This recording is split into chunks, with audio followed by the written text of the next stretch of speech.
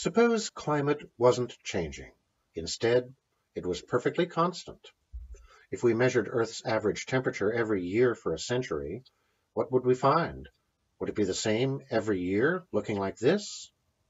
No, it would vary from year to year, not because climate changed, just because there are always fluctuations from day to day, from week to week, even from year to year.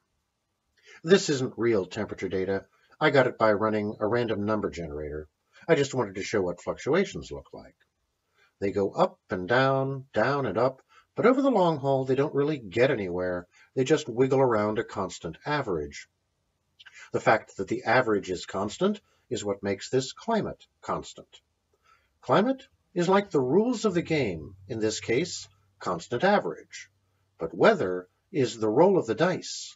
And just because the rules don't change doesn't mean you can't get different roles.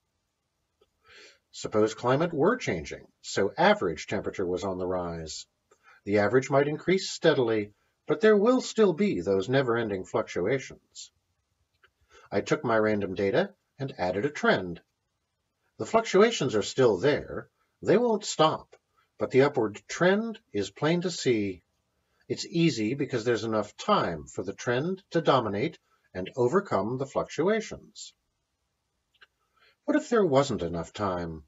What if we drew your attention to only this part of the data? Even worse, suppose those last 13 years were all that we showed you.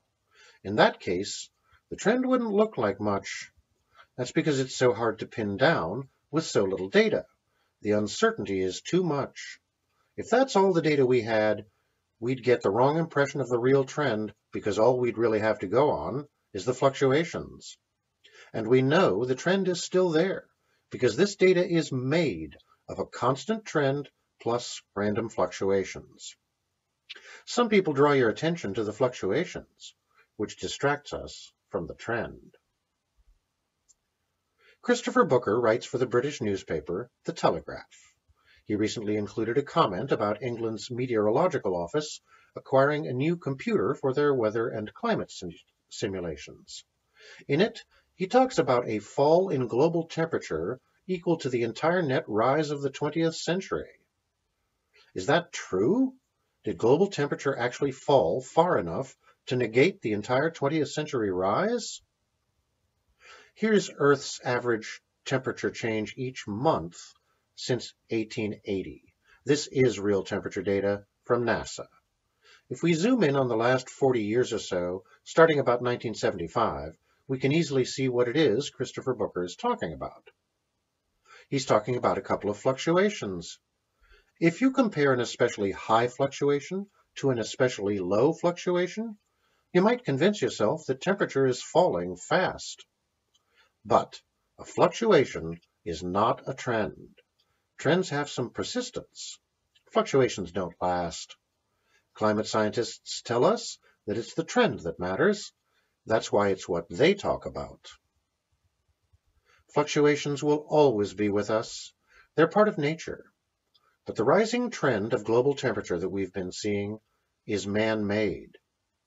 According to the overwhelming consensus of climate scientists, this trend spells trouble. And the reason? Contrary to some, what some people think, CO2, carbon dioxide, is the story. When fluctuations are large, and when the amount of time studied isn't long enough, it can be very hard to know what the real trend is. For climate, it can take decades for the trend to emerge from the noise. We've been studying it long enough to know that the real trend in Earth's temperature is upward at a worrisome pace. Beware of those who use fluctuations, and especially time spans that are too short, to give you the wrong idea about the trend.